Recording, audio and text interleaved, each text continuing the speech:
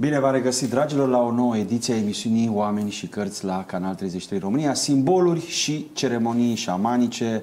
Discuția noastră de astăzi este prilejuită de apariția uh, acestei superbe cărți, cred că are undeva în jur de 3 săptămâni, de când a apărut de la tipar o nouă carte uh, a lui Don Jose Ruiz de saga de leac, instrumente, ritualuri șamanice și ceremonii de transformare personală cu un cuvânt înainte de Don Miguel Ruiz, tatăl lui Don Jose Ruiz, autorul cărții Cele patru legăminte. Le mulțumesc și colegilor pentru că vă arată uh, cartea la uh, cameră. Uh, dacă nu mă înșel eu, este a patra carte. Am început anul cu învățăturile șamanilor, am continuat după aceea cu uh, animale de putere, trezirea șamanului și iată acum un titlu foarte sugestiv și foarte frumos și foarte etnografic, aș spune eu, și folcloric de saga, da? De saga de, de leac. Alături de noi uh, Olimpia Mioara Mireștean, practicant uh, șamanism, uh, de asemenea ghid human design și formator, să spunem, cercuri de femei și o să ne povestești un pic și despre treaba asta, pentru că are legătură cu discuția noastră de astăzi. Și Nușa uh, Bugeac, uh, psiholog, astrolog, specialist în meditație, în metafizică chineză. Îmi zici dacă ceva nu este ok nu sau... meditație, metafizică. Metafizică, da. Dacă omit uh, ceva. Uh, și pentru că noi ne-am mai întâlnit și în alte formule, să spunem, discutând despre aceste superbe cărți, Aș vrea să începem discuția în felul următor. Fiecare să povestească uh, despre ce înseamnă până la urmă aceste instrumente de lucru ale șamanului pentru vindecarea, pentru transformarea noastră personală, pentru dezvoltarea noastră, pentru că uh, în carte Don Jose Ruiz, și asta mi s-a părut extraordinar, toate cărțile, să spunem lucrul ăsta, sunt foarte ușor de citit. Uh, ne reamintește Don Jose Ruiz că cea mai comună modalitate prin care noi ne producem suferință este generată de propriul mod de a gândi. Noi suntem, asta mi-a plăcut maxim, noi suntem singurele animale de pe planetă care se resping pe sine. Călătoria prin care ieși din suferință este una de trezire. Olimpia. Trăit. Prezent. Cum e cu instrumentele și cu... După cum vezi, la mine am uh, o brățară care o țin așa, ca și cristal roz, ca instrument și pe care ce? îl folosesc. Din ce material e? Este cristal uh, roz. Quartz roz. E quartz roz, da. Și nu am luat-o doar că se asortează cu rochia, ci pentru că e pentru iubire, pentru... Există, de exemplu, o meditație în care te vizualizezi în interiorul cristalului. Și de obicei eu folosesc cristal roz.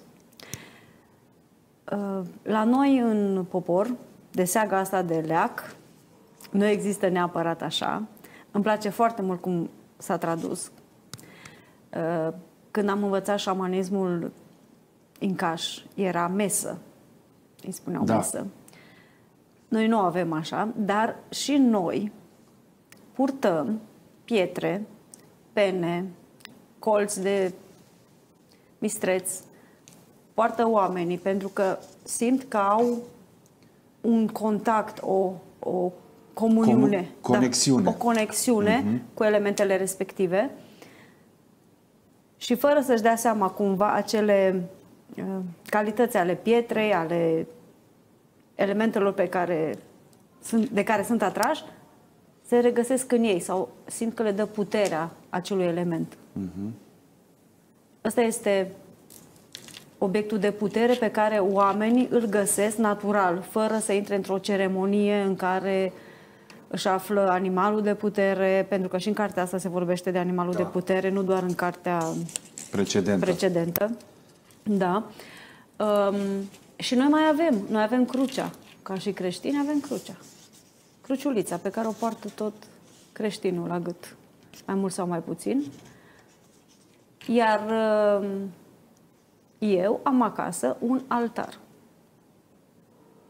În acel altar sunt lucruri care se schimbă. Pun acolo ceea ce am nevoie pentru ceremoniile pe care le fac sau pentru mine. Altarul nu este doar pentru mine, ci și pentru cercurile pe care le organizez. Și el se schimbă în funcție de ce am eu nevoie, dar în special sunt lucruri la care țin, care îmi sunt dragi, care îmi transmit și mie ceva. Și asta poate să facă oricine. Poate să fie altarul străbunilor, poate să fie um, altarul în care uh, vor să li se împlinească ceva, ce, să intre ceva în viața lor și atunci pun pe acel altar. Dacă, de exemplu, sunt prinși într-o situație, pot să aduc elemente care țin de zbor, pentru a se detașa de situație și a vedea totul mm-hmm, detașat, de sus, de sus cumva, ca vulturul. Mm-hmm. Da? Și atunci aduc elemente care țin de pană, de frunză, ceva vânt, da? Să-i audă șoaptele, să vadă situația de sus. Nușa, da, da, ștafeta. Mulțumesc, mulțumesc, mulțumesc. uite, uite ce, ce am găsit interesant. Uh, dependența, pentru că despre asta vorbește și asta este esența cărții lui Don Jose Ruiz, cel puțin în, în aceasta, în Desaga de Leac. Uh, dependența de suferință a minții, apropo de foarte mult asta. gândurile da. negative. Și zice, după cum am spus, Nagual se referă la energia prezentă în univers care dă viață tuturor lucrurilor. Energia Nagual este infinită, omniprezentă și abundă în pace și bunăstare. Ce este un Nagual? O chestie. O chestie. Bun. Bun. Nagual, dacă vrei, în, ca să înțeleagă mai bine românul mm-hmm. despre ce este vorba, este acel divin, acea esență divină la care se referă, care este în orice este în jurul nostru. În noi, în animale, în plante, în pietre, în absolut orice. Este acel sacru mm-hmm. divin. Așa se numește în limba nahuatl, în limba quechua și în alte limbi de prin zonele uh, Americii Centrale și de Sud. Aceasta este denumirea de nagual. Poate fi, deci la ei, uh, nagual se mai spune și, de exemplu, la tolteci, vindecătorului, șamanului, vraciului. Uh-huh. Este aceeași denumire.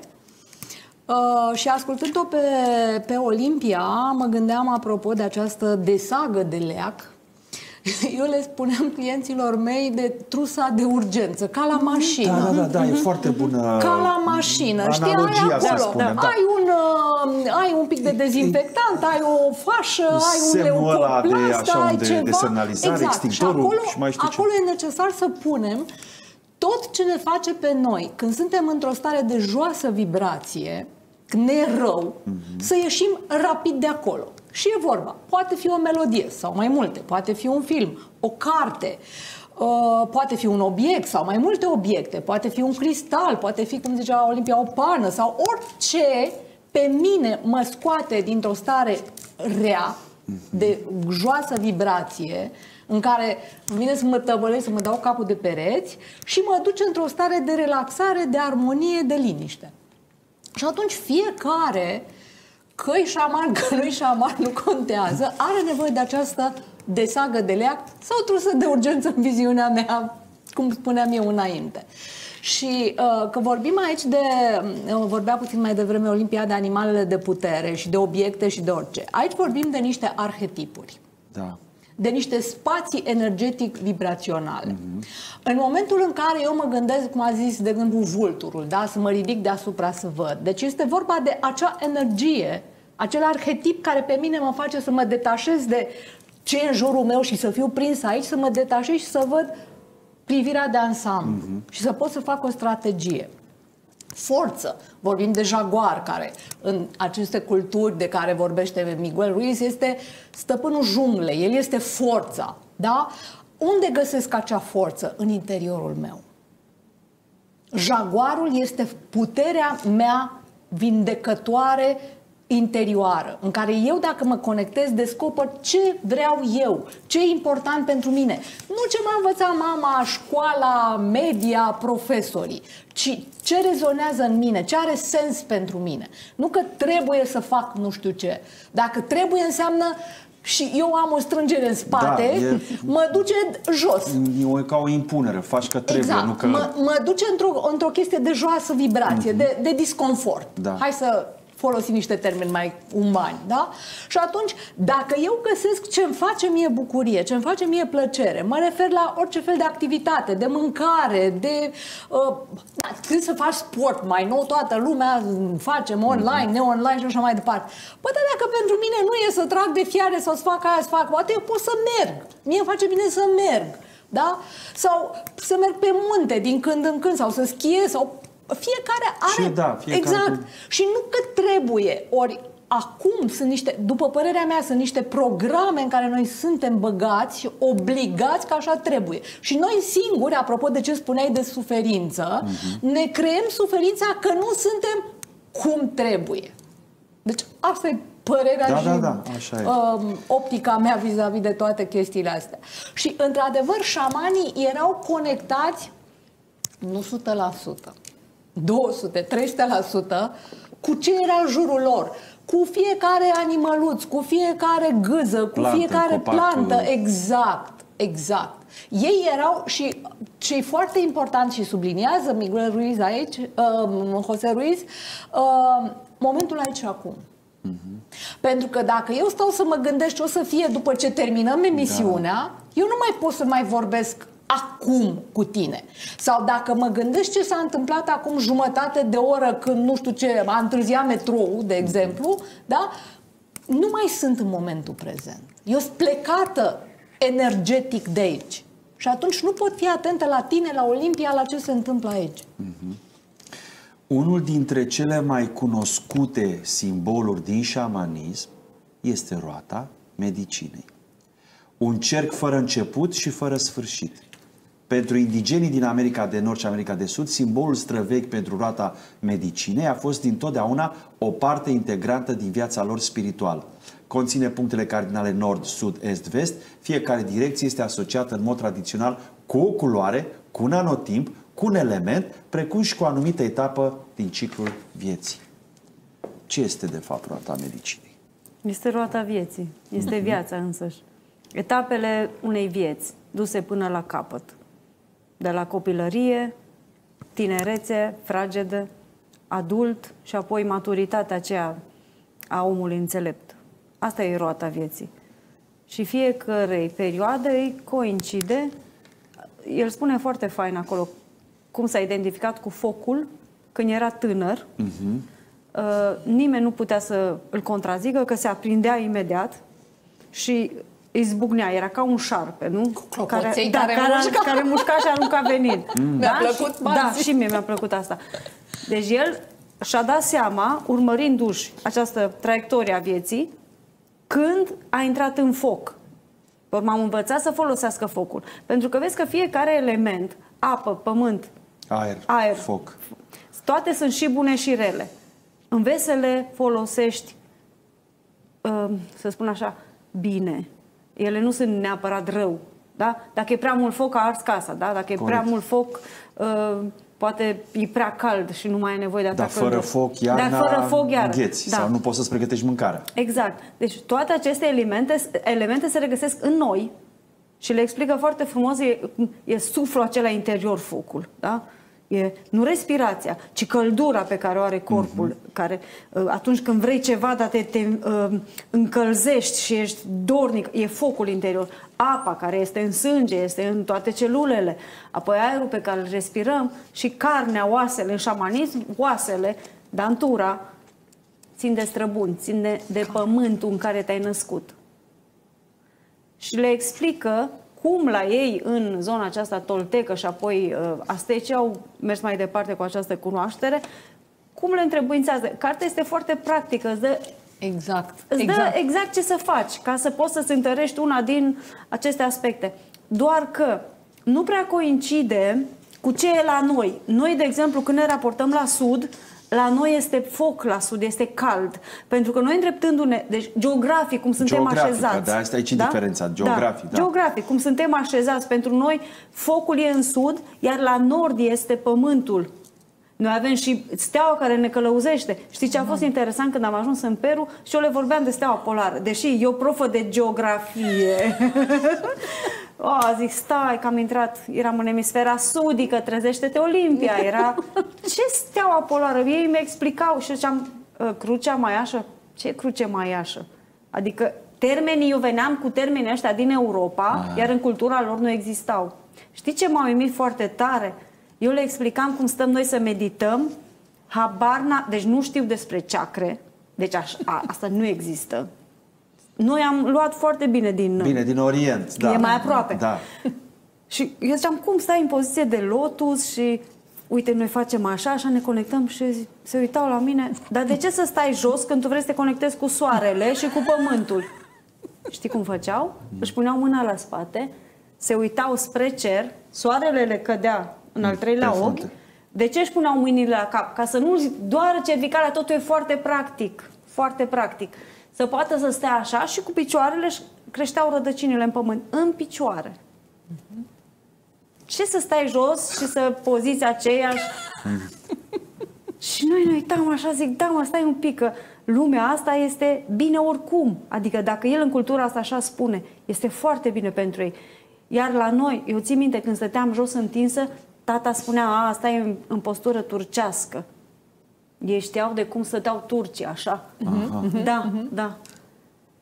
Deci vezi că noi avem luate anumite obiceiuri, standarde, pe care le asemuim ca standarde, le asimilăm ca standarde. Dar nu fac parte din cultura noastră. Dar acum cu globalizarea ai putea să-și bineînțeles că și McDonald's e la noi. Nu fac reclamă, da? și KFC și altele. Adică toate sunt așa, dar să ne uităm puțin ce e real pentru mine, ce e adevărat, exact cum ai spus.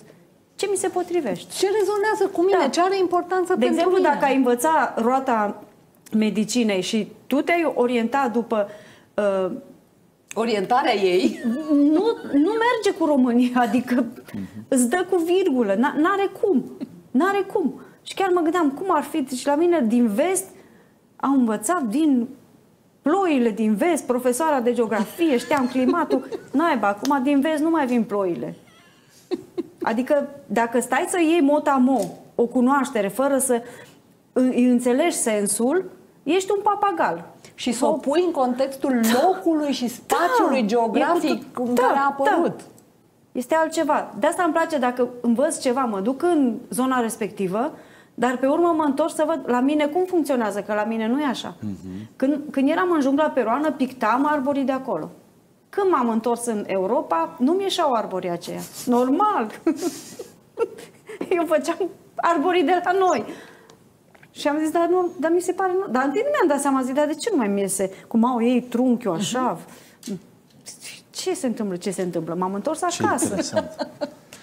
Te-ai Sunt conectat acasă. cu un alte, alte egregor, cu altceva. Da. Și se simte, apropo de egregor, când ieșiți din țară, e ceva ce se ia de pe noi. Și uh, anul ăsta, acum că m-am întors din Samotraki, din tabără, Din Grecia. din Grecia, le-am spus, zic, fiți atente când intrăm uh, în România, la pod. Fiți atente când intrați și scrie România, ce se întâmplă cu voi. N-am zis nimic, să văd ce se întâmplă. Și dintr-o dată s-a lăsat ceva pe noi. Intri în egregorul poporului român, în țara ta. Și iar când ai plecat, dar te simți și familiar. Adică la un moment dat când intri, poți să simți această energie că te apasă, dar pe urmă ție Ești acasă, Ești, ești acasă. Da, da, da. Foarte, de chestia asta n-am mai auzit-o, e extrem de interesant. Am revenit în studio alături de invitatele noastre, Nușa Bugeac și Olimpia Mioara Mireștean, uh, vorbind pe marginea cărții a lui Don Jose Ruiz de Saga de Leac, instrumente, ritualuri șamanice și ceremonii de transformare uh, personală. Și uitându-mă și în uh, pauză prin, uh, prin uh, carte, uh, mi-a atras atenția apropo de ce spunea ceva mai devreme uh, Nușa legat de arhetipuri.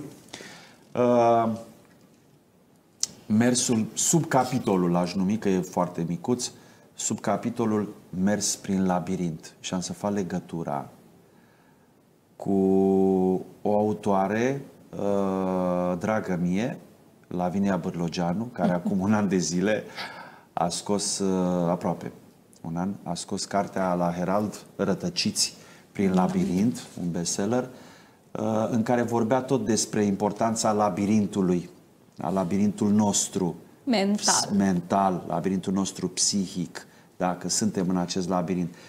Care e perspectiva șamanică a acestei călătorii prin labirint? Uite, de exemplu, zice Don Jose Ruiz, al doilea mod de a întreprinde o versiune locală a unei călătorii de putere este acela de a face o meditație în mers printr-un labirint. Labirinturile sunt forme arhitecturale străvechi care au fost documentate în multe culturi. La fel cum totemurile sau simbolurile anumitor energii puternice existente în lume, labirintul este și el un simbol. Și un simbol important. Este simbolul în care ne prinde, ne prinde plasa gândurilor. În care eu într-o secundă pot să sar de aici, de aici, aici, aici, aici, mă duc și colo, și colo, și colo, și colo Mintea și m-am maimuță? rămas prinsă. Mintea maimuță, nu parcă așa îi spune. Exact, exact. Și uh, legat un- de ce spunea Olimpia puțin mai devreme de roata medicinei, am fost fascinată când am aflat că în cultura uh, șamanilor din Mexic, uh, 52 de ani este vârsta la care devii matur. Deci 52? până, da, până atunci ești copil. Gata, sunt matur. Deci eu am fost fascinată, aveam vreo 40 și ceva, 48-49 la... Zic, mamă, sunt copil încă, yes! De ce? Până atunci ei consideră că tu copilărești, tu experimentezi. După 52 de ani devii matur, se poate pune bază pe experiența ta. Apropo de labirint. Până la 52 de ani, plus minus, da, noi bântuim și mergem și sărim dintr-un gând în alt gând, dintr-o idee, dintr-un proiect, din ceva. Foarte puțini au capacitatea de a se focusa, de a avea un obiectiv și de a-l urma. Este timpul ca lupul să se întoarcă. Genială poveste. Da, da.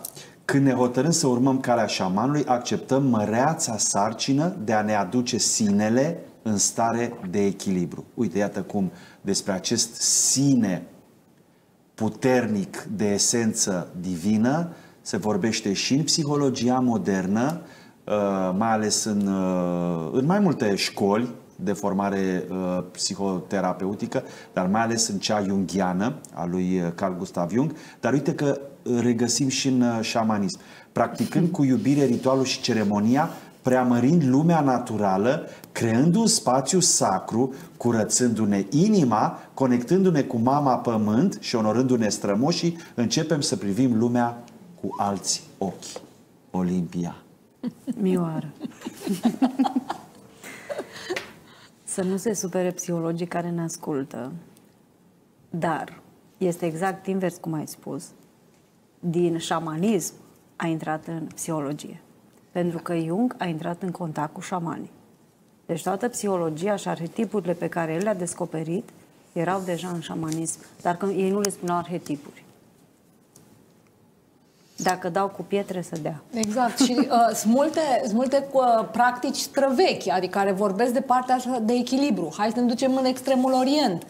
Tot ce vorbesc ei, sau în Asia, tot ce vorbesc ei, ideea este de echilibru. Cum spunea Olimpia mai devreme, cei prea mult te copleșește, cei prea puțin nu-ți ajunge. Deci cum să găsim echilibrul? Despre asta este vorba. Și toată căutarea asta, de fapt, pe noi unde ne duce? La a ne simți bine cu noi. Și ce spuneai tu de sine și de toate cele? Păi mintea. Mintea e maimuță, da? Mintea îți găsește în aceea secundă 10 uh, argumente pentru, 10 împotriva Da, a da. ceva. În același moment, da? Mintea generează niște emoții de confort sau disconfort.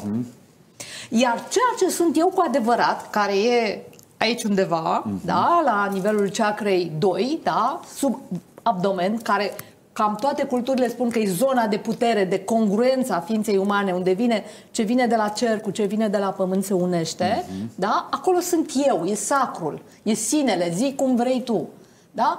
E, în momentul în care noi le aliniem și le unim și dăm un pic de pace la minte, o facem să mai tacă din gură, atunci se calmează emoțiile și eu mă pot asculta pe mine, ceea ce sunt eu cu adevărat. Cam așa funcționează, iar ăștia vechi știau. Ei știau. Și prin Asia, și prin Americi, și prin Africa, peste tot. Și venim noi acum, uh, Da. modernii, și Și- zicem, noi Băi, le-am ce descoperit. chestii Da, interesantă. și mi se pare, Coin. și asta mai puțin, uh, sorry, uh, li se pare șamanismul un bau-bau, ceva uh, ciudat, Unora. Da, și la fel unora li se pare psihologia, așa cum sunteți la psiholog. Dar unii acceptă psihologia, unii acceptă șamanismul. Dar sunt domenii care se întrepătrund și nu poți să te tratezi doar fizic, A, clar. doar corp. Pentru că nu ești doar corp. Ești mult mai mult. Și în corp ai venit să experimentezi viața. Și dai corpului ce al corpului, spiritului ce al spiritului și sufletului ce al sufletului. Dar nu ești doar corp.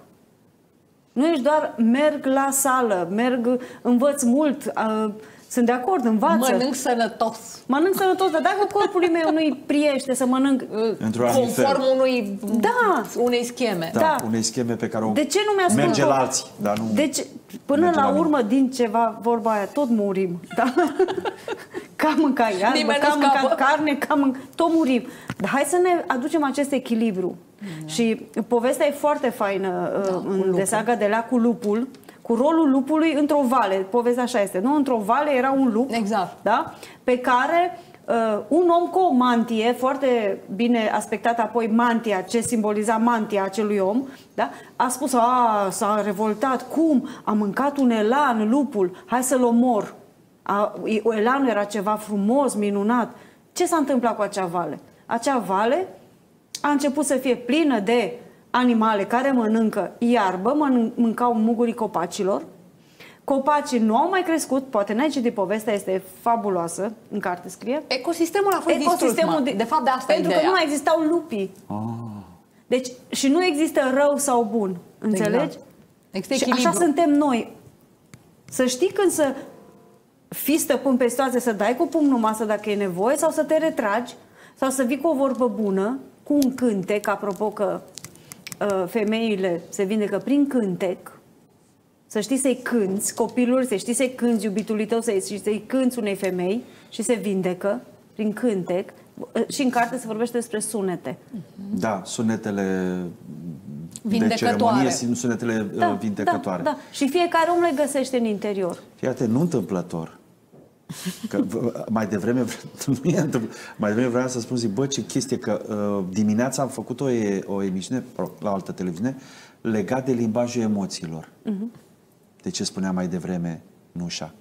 Și acum vorbeai și aveam în minte, de dinainte de pauză, uh, sunetele ceremoniale, cât de importante sunt ele și că și sunetul poate, rep- nu doar o amuletă, o chestie, o brățară, un lănțișor, un pandativ și nu mai știu ce mai de sagă, să spunem, uh, poate să reprezinte un simbol sau animalele de Sau putere. muzica, cum a spus da, Nușa muzic, sunetul poate să fie un simbol. Și fii atentă unde aveam eu deschisă cartea. da? Intonări, cântece și mantre. Mantre, exact. Vocea umană are o amplitudine extraordinară. De la șoaptă se poate transforma în strigă, trecând prin șuierat, cântat, tânguit și urlat. Cu sau fără limbaj, aceasta poate să invite sau să îndepărteze. O singură voce poate inspira mii de oameni dintr-o mulțime sau poate alina un bebeluș printr-un cântec de leagăn duios. Și te, a- apropo de treaba asta, gândul mă duce, mi se pare fascinant, am un prieten, uh, Alexandru Anton, care, poate îl știți, Da.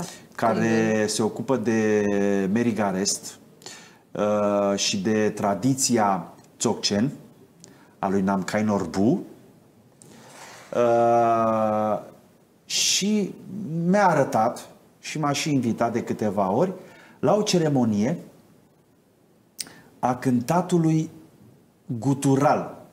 Huntun, Îi care spune- este cum? Huntun, cântecul Huntun. soarelui, sunetul soarelui. Nu știam asta. Deci- Au băgat în, stai puțin că te întrerup eu acum, ca să nu uit. Te las pe tine să vorbești.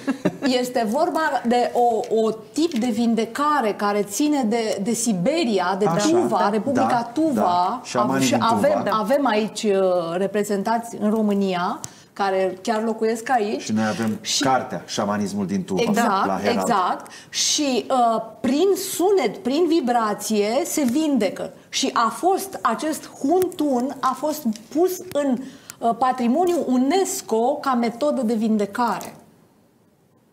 Deci cântecul soarelui, cântarea guturală, pentru că sunetul este vibrație și în momentul în care eu vibrez și îmi vibrez sunetul, vibrez corpul, corpul exact. și îndepărtez blocajul de acolo de unde este. Eu mă vindec singură, cântând sau ascultând și primind vibrația cuiva care știe. De aceea oamenii mergeau în trecut la operă. De ce mergeau la operă? Te-ai gândit vreodată? Pentru că acolo sopranele, tenorii, bașii, ce Dumnezeu mai erau ei pe acolo ca denumire, prin vocea lor ei spărgeau blocajele. Mm-hmm. Că vorbim de Mimi din nu știu ce operă, că vorbim de nu știu mai care conte și așa mai departe. Da? Deci avem nevoie de sunet. Sunetul este peste tot în jurul nostru. Și sunetul înseamnă, este un nivel de vibrație care noi îl auzim, este în spectru, spectru în care auzim. Și este instrumentul cel mai important. Da. Deci eu asta îl folosesc. Da. Și unii se sperie. Tu ce folosești? Știu sunetul toba. vocii mele. Nu, A, toba uh, este un to- instrument care mă ajută. Da. Și... Șamanii au instrumente ajutătoare. Dar vocea și îi, îi, cum să zic, îi ajut cobor cu ei să-și afle vocea proprie. Exact. Pentru că acel cântec, acel sunet mm-hmm. este în fiecare om. Și când îl găsesc, îl fac. Numele nostru este un sunet. Mm-hmm. Și nu, poate nu se rostește Olimpia. Poate îi găsesc, da, cum sunt silabele spuse. Și exact cum mi-l pronunț, o să-mi simtă corpul cum vibrează și atunci știu, ăsta e.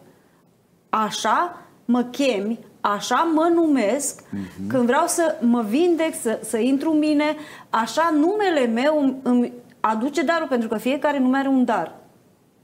Eu spunându-mi Mioara și cântându-mi numele Mioara, am ajuns să aflu că nu mă interesa, sincer să fiu, despre străbunii mei. Ce făceau daci, ce fă... Eu nu am fost atrasă neapărat de I, să cunosc tradiția asta, dar a venit spre mine pentru că mă cheamă Mioara, sunt născută de Sfântul Andrei, păzitorul lupilor și eu sunt Mioara. Ziceam, naiba, da, da, da, care da, e? Ce chiar, păi era interesant. de lună plină, adică ce să mai... Și Mioara e cu Olimpia. M-am dus la un moment dat în Grecia să-ți le împac. Că Mioara e tracic, da? da? Adică dacic, așa, și m-am dus la Olimpia, coborâtă de la olimpieni. Și să le fac, să le cumva, să se iubească. Da. Înțelegi? Asta e numele. Și sunt oameni care nu-și acceptă al doilea prenume. Aici. Prezent. Care și am început să fac pace. Eu sunt și Niculina. Niculina Nușa. Niculina. Este un nume de putere. Foarte puternic. Și am început să fac pace cu el și am început să încep să mă prezint Niculina Nușa Bugeac. Asta este numele meu complet. Pentru că ne apropiem de final. Zi, unde vă pot găsi oamenii care, nu știu, să zicem că vor să lucreze cu voi sau să afle mai multe lucruri? În ritualurile Olimpia Mioara Mireștean și pe YouTube și pe Facebook. Și pe Facebook. Și da. tu? Eu pe Facebook, uh, Niculina Nușa Bugea sau la Taină cu Nușa, am și canal de YouTube și site-ul în refacere că a și fost spart. Cineva m-a iubit mult. Și tu faci și, și, și constelații, constelații și regresii. Dragilor, au fost alături de noi Nușa uh, Bugeac și Olimpia Miora Mireștean. Am vorbit despre uh, de saga de leac Don Jose Ruiz. Vă mai arăt o dată uh, cartea la cameră. O puteți găsi pe site-ul editurii Herald în colecția Șamanism. Noi ne dăm întâlnire săptămâna viitoare la aceeași oră la ora 17 vineri la Canal 33 România la emisiunea Oameni și Cărți. Aveți o săptămână minunată și un weekend bine